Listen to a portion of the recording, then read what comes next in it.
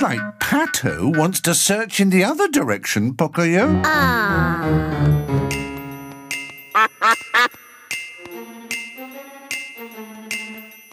What